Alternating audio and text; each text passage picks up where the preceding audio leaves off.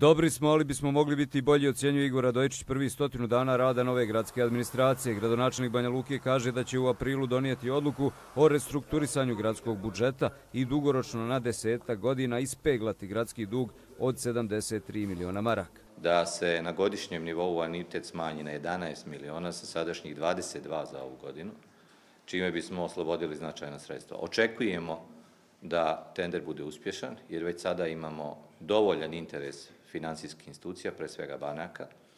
Uspješno znači da imamo odziv barem jednog subjekta, nadam se i više, i da u aprilu možemo da idemo na rebalans budžeta. Za rješavanje gorućeg problema Banja Luke, to plane postoje dva zainteresovana partnera, tvrdi Radojičić. Nema svrhe ići u bilo kakav javni poziv za partnerstvo ukoliko se bar jedan neće javiti. U ovom momentu imamo razgovore sa dva subjekta koji izražavaju načelni interes. Da li će u konačnici se pojaviti kao mogući partneri grada i investitori, to je teško garantovati.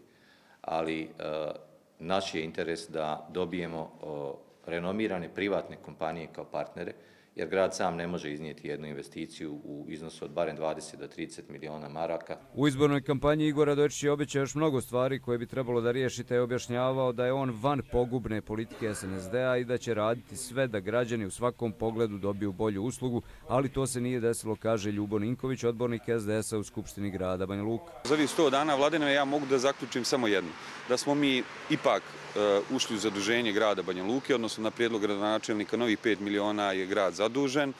Dobili smo nova odjeljenja u gradskoj upravi, dobili smo i novu poziciju podpredsjednika Skupštine, što je dodatno opteretilo budžet e, građana Banja Luke, pa i sam budžet grada Banja Luke, jer je trebao zadovoljiti koalicijone kapacitete.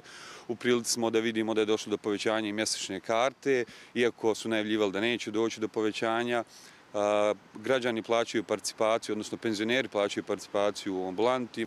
SDS je nudio različite rješenje, različite pristupe kada je u pitanju to plana, ali Radojić nije želio da pojedinačno razgovara sa političkim partijama o mogućim rješenjima, a slično je i sa restrukturisanjem gradskog duga, ističe Ninković. Mi smo kao građani Banja Luke već jednom platili kamate na ranije dugove, odnosno na trenutne dugove grada Banja Luke i novim zaduženjem, odnosno novim refinansiranjem, bilo nove kamate s tim da bismo na već postojeće kamate platili nove kamate. Ali očigledno to gradonačelniku ne smeta jer je njemu neophodno da on stvori neki prostor uh, uh, od nekoliko miliona kojima bi on rukovodio, jer, kažem, treba isplatiti uh, uh sve ljude koji su zaposleni u novim kabinetima i novih odjeljenja. Vodimo tešku borbu za gradsku imovinu, imamo niz sudskih postupaka i najmaštovitije izazove u smislu pokušaja izuzimanja gradske imovine, a o tome smo naročitu polemiku imali sa pravobranilaštvom i prvi epilog toga su ostavke u toj instituciji, zaključuje Radojičić priznavši da nije zadovoljan tromošću birokratskog aparata.